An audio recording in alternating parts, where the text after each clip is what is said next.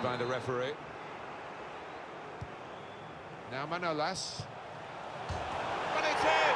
That was one of those special moments you don't